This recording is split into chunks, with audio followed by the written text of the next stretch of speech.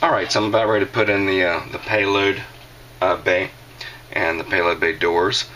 But uh, we have a plan of lighting up this cockpit area, so I've cut a channel right here to run some wiring through. And we're going to put uh, a couple LEDs up here. And uh, but so before I put in the payload bay, I have to kind of run this wiring here. And so uh, that's what we're going to do right now. I'm just going to stuff it down into a little bit of a little hole that I've got right here, which um, I've drilled, and it goes down into the starboard main landing gear well.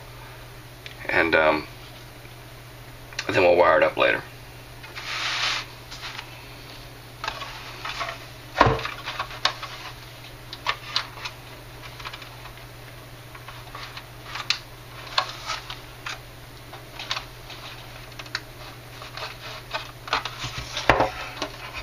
pull it through here. I got a lot of here because uh, all I really want to do is be able to to uh, attach it to the base where the electrical power source is coming from. But you know, you never know about these things, so it's always good to have extra wire. So a lot of extra wire here.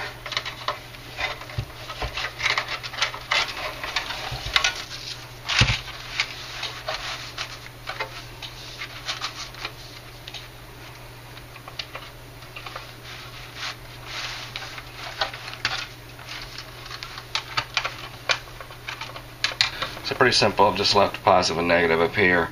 Just run the wiring right in through to the gear door, or the gear bay. Alright, so I went to put in the payload bay and I was just, I should have looked this before, but uh, there's a hole in the bottom of the payload bay to support um, the payload portion of the kit.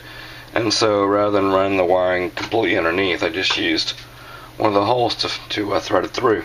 So even better. Now we'll just glue this up.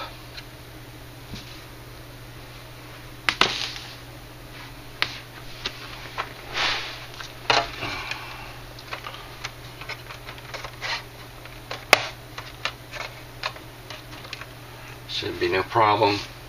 Should be easy enough.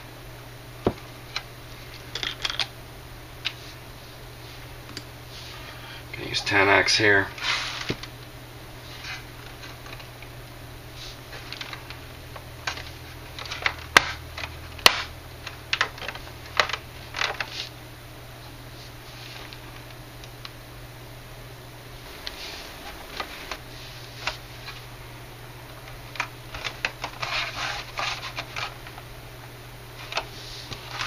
Flip it around here.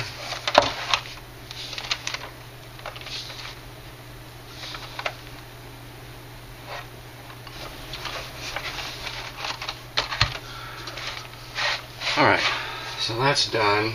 and I'm going to run a good strong bead of this Testors liquid around the uh, edge here.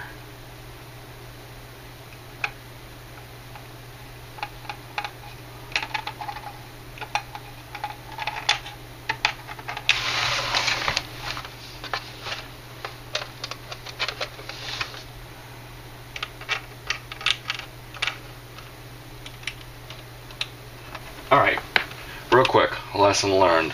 I put in this payload bay and I snugged it in nice and glued it nice. But as it turns out, these um, payload bay doors are really, really, really thick. So if you snug this payload bay in and set it on this uh, sill here, then when you go to put the doors on, you get this kind of situation right here. Not good. So I had to break this loose. Okay, thank goodness I had just done this. And now I'll be able to glue it all up together and it should marry up like that, which is what we're looking for. So now I have to do this on the other side here too.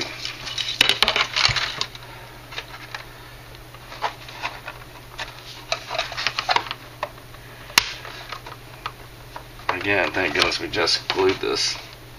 If I'd waited a day, it never would have come off. Lesson learned. These kids try to be everything to all people, so if you want to open up this bay door, these bay doors, it wouldn't necessarily be such a big deal, but if you're trying to close them like we're trying to do, it's a huge deal.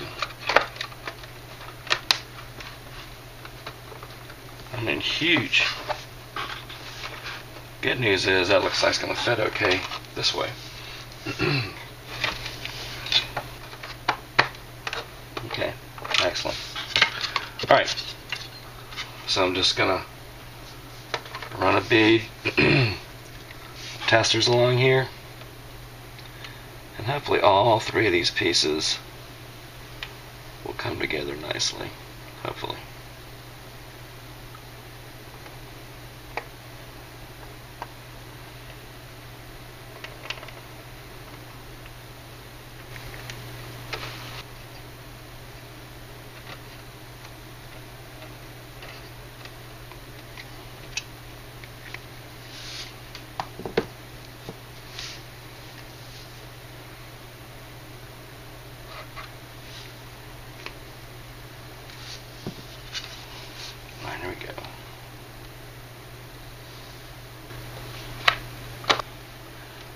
You may ask why did I put the payload bay in at all since it's not going to be visible and doesn't seem to be required.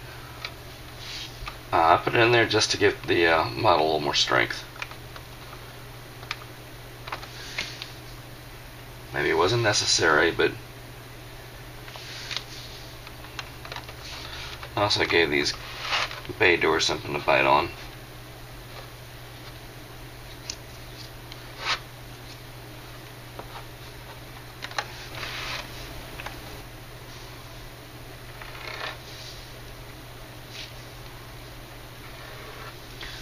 Now because I only have half of this put together here with these bay doors, I have the luxury of running some cement on the inside here.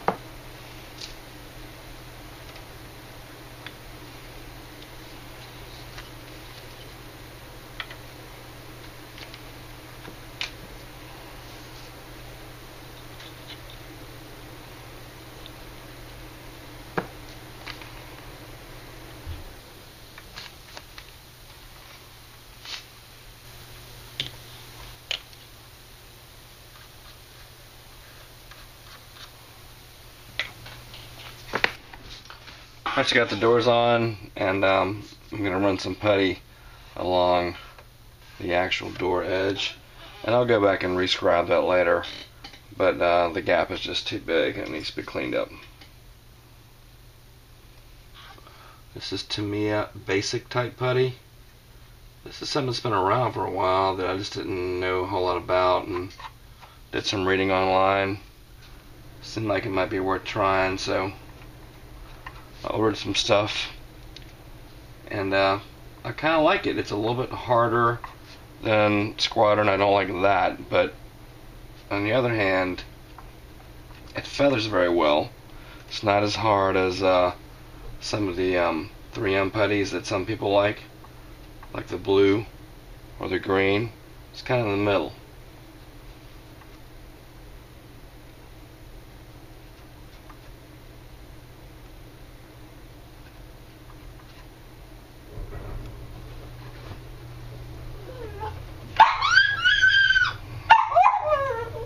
that's my dog, and here's a garage door opener. And that means that the Swimbo is probably home.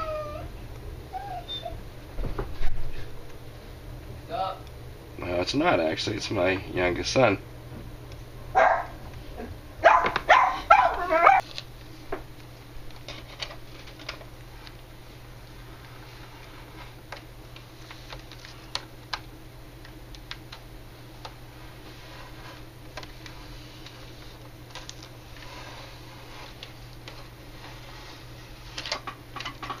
I will let that dry nicely and we'll come back and sand it down.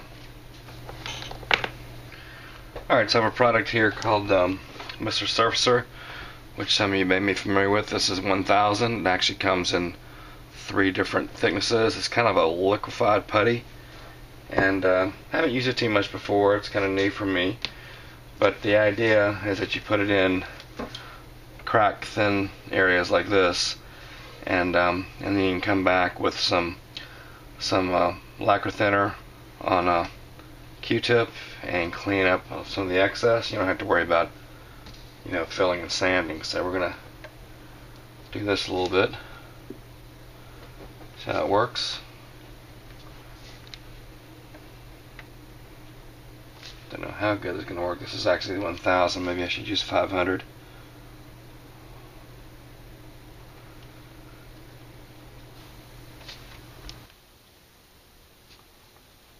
Good modeler is resourceful, uses every trick in the book to get the best results.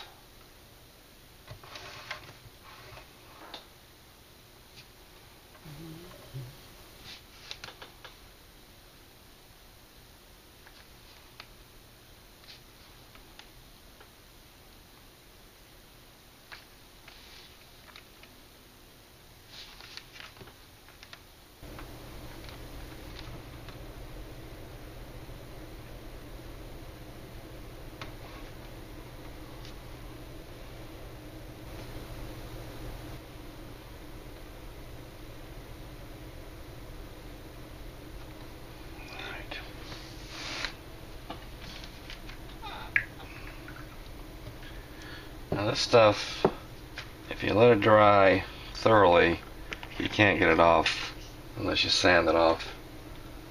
Um,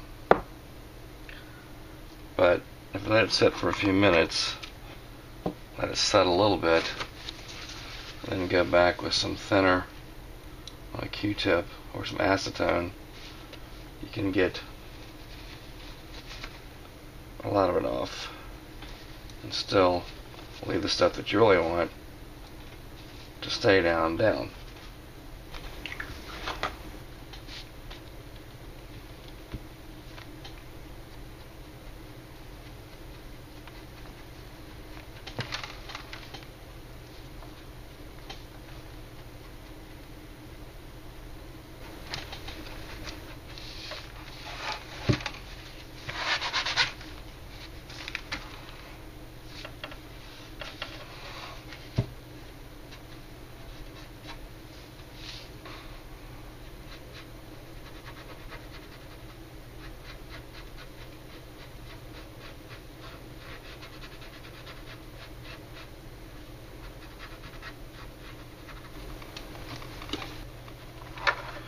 And some of this I'm going to have to come back and just puttying. The gaps are a little bit too big.